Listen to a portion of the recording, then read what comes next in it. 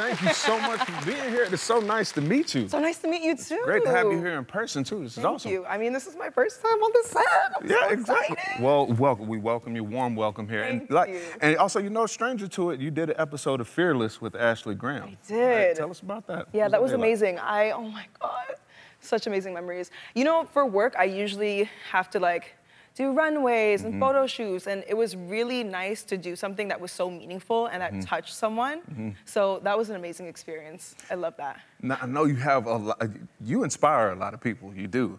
And but with that, there there comes the tag of, of role model, which you which you kind of have a special relationship with Mm-hmm. that tag. Tell us about that. Yeah, I mean, I don't believe in role models per se, like the title role model, because I don't think anyone should be put up on a pedestal unless you're Beyonce. Hey, You know what I exactly. mean? That's a fact. That's a fact. But other than that, I mean, I, I don't I don't acknowledge the term role model. I think of myself as an inspiration, and I like to pull inspiration from everyone else. But we're all human. You know? Absolutely, absolutely. And also, if we're just if we're just doing our part and being the best person that we can, we're all shining light for all of us to follow anyway, Precisely. right? Absolutely, Exactly. love that. Now, listen, I understand during the quarantine you started dating, right? Uh, tell us how you how you met your boyfriend because we're listen, we're all locked down. We hadn't been going anywhere. How did how did y'all meet? Um, so I got a DM a year prior from Mm-hmm. my boyfriend, and I never seen it. I, I don't know what the glitch in the system Mm-hmm. with uh, Instagram is, but that never came up for me. Um, a year later, at the top of quarantine, he DM'd me again. He posted a picture of me in like an outfit, and I was like, "Oh, hi." That. He just was- posted a, he just posted a picture. yeah, he shot his shot, you know, he Wow, just slid in the okay, DMs. yeah. So um, that was cute. And I was like, oh, hey, like, how's quarantine been? and yeah, we kind of just started talking from there. And then he was like, after a month of being on FaceTime for 24 hours every single day for Right. a month, he was like, you gotta come to LA. And I've been in LA ever since. That was a year ago, exactly. Wow. Yeah. Yo, we can clap for that. Look, that was a, it was a bold shot. Yeah. Now, he's, he's also a ball player, which I, which I know he's very, very tall. You're tall, right? I So, am. like, I mean, how, how, what is that, that Well, height difference like? I'm tall. Right. I'm a model. I'm 5'9".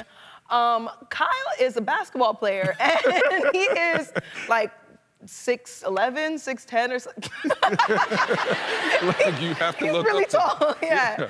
Um, I, but I love every time I post a picture or a video of us, everyone's like, "Oh my God, I stand the height difference. oh my God, I ship that." So it's cute. I love it. That's awesome. Now let's talk about this, uh, uh, like the the, the world of supermodel. You've done some incredible photo shoots. You're doing uh, on horses, on camels. Uh, talk to me about this this cat story. I understand that you. Well, I mean, I love animals, so it's always amazing. The only thing with cats is I'm allergic. Mm-hmm. So I pulled up on set to do this shoot, and immediately my throat was itching and my eyes were watering, and I was like, um, excuse me, is there a cat on set? And they were like, yeah, oh my gosh, how'd you know? We're shooting with a cat today. The cover's gonna be a cat. This shot's gonna be a cat. That shot, I was like, oh, that's great. Um, so I'm allergic. Yeah, it's like my throat is cold. yeah, I can't breathe. Um, and I was like, yeah, yeah, it's fine. Don't worry about it. Can I get some um, allergy medicine and we'll just kill the shots? Mm-hmm. And I even took some like cat food and put it in my mouth so the cat would come really close for some shots.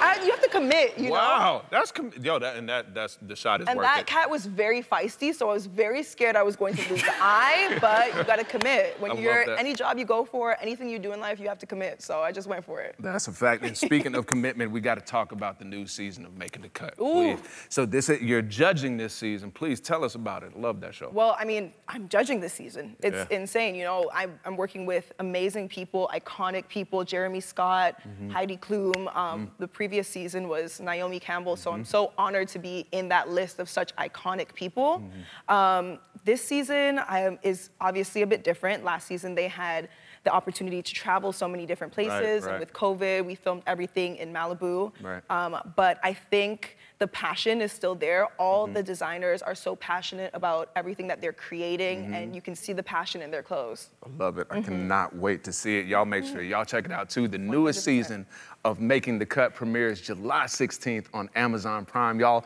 this is the legendary Winnie Harlow. Thank you so much for Thank being here. you. We'll be back.